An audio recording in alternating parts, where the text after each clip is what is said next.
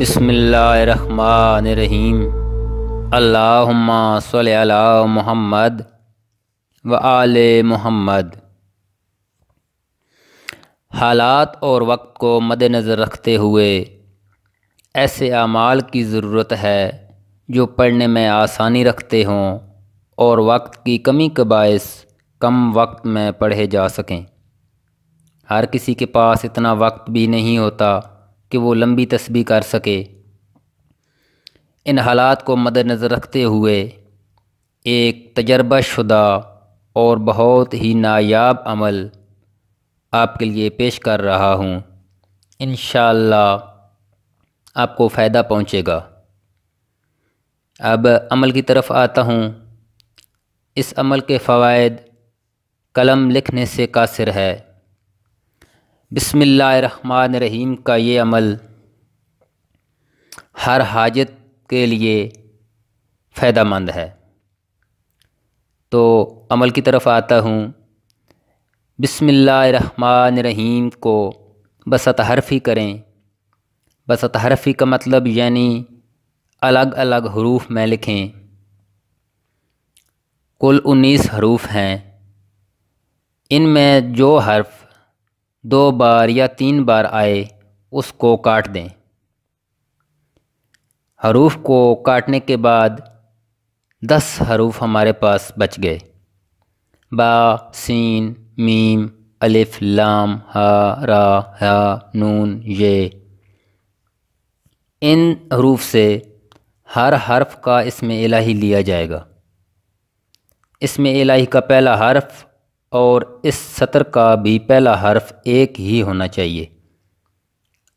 اگر مقصد کے مطابق اس میں الہی مل جائے، مثلا ہمارا مقصد رزق ہے، تو رزق کے لیے پڑھنا ہے، تو اس میں الہی بے سے با سے تو، حب کے لیے پڑھنا ہے، تو بے سے یا بدو ہو اس طریقے سے ان دس حروف کے مطابق اسماء الہی لیں۔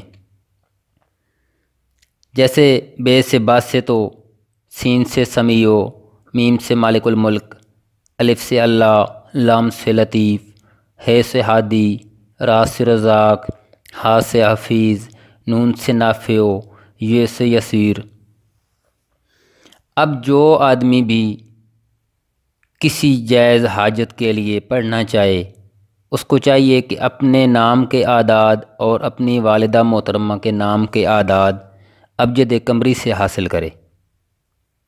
مثلا، عدنان علی بن نظرت فاطمہ کو ترقی روزگار کے لیے پڑھنا ہے تو آٹھ سو بیاسی اعداد ہیں۔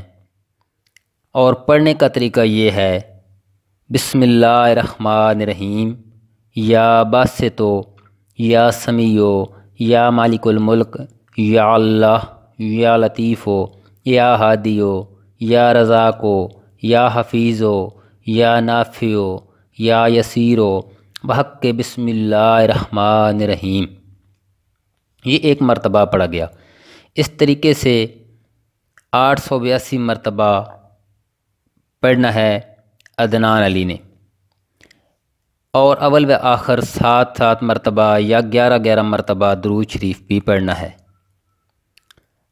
عمل پڑھنے کا وقت نو چندے دنوں میں بدھ، جمعرات، جمعہ، اتوار، پیر کی رات یا صبح کی نماز کے بعد سورج طلوع ہونے کے بعد اول و آخر درود پاک طاق مرتبہ پڑھیں۔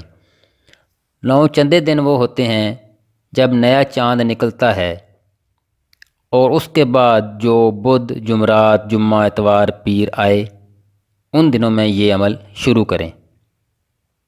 اور اس میں خصوصی چیز یہ ہے کہ رجال الغائب کو بائیں جانب کی سمت یا پیٹ کے پیچھے رکھیں۔ جس طرف رجال الغائب ہوں، اس طرف منہ کر کے بیٹھنے سے عمل میں رکاوٹ آتی ہے۔ رجال الغائب کی پشت بنائی بہت ضروری ہے۔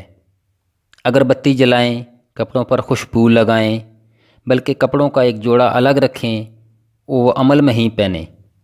عمل کا راز کسی پر ظاہر نہ کریں۔ اس میں بھی راز ہے۔ انشاءاللہ ہر جائز مقصد میں بہت جلد کامیابی ہوگی۔ دعاؤں میں یاد رکھیں، اللہم صلی علی محمد و آل محمد۔